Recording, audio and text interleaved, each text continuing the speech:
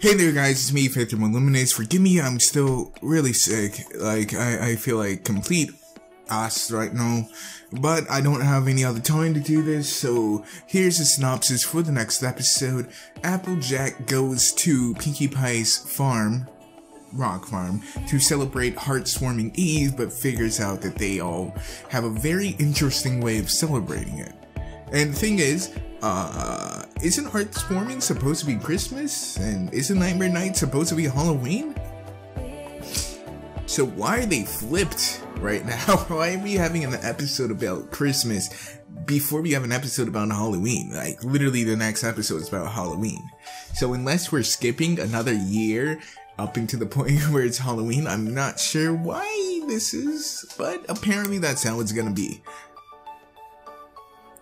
Also, since I'm doing this in advance, I don't know. Was I right about the whole Skyla thing? You guys will definitely let me know. I should be back on Saturday, but I, I, I don't know if I'm gonna be able to actually record anything on Saturday. I do have an Everything's Wrong with in the vault that I can release in the event that I did get sick, which I am. Yeah, um, actually, I, I love Pinkie's family. We haven't had a lot of development with them.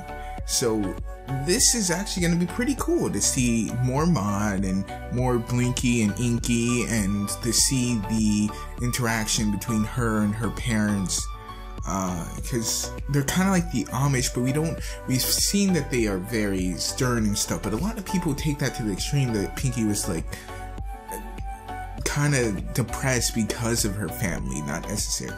I mean, she is on a literal rock farm, and I guess that was just supposed to be comical to be like, but this is an apple pie shipping episode. So all you apple pie shippers out there, I'm sure you guys will enjoy this.